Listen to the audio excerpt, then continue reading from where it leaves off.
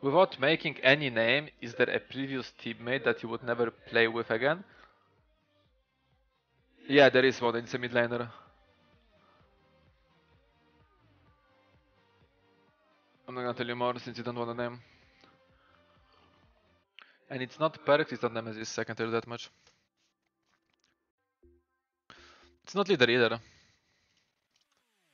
And there are not many, so you have two left, right? Actually, no, you have. How many you have left? Three or four?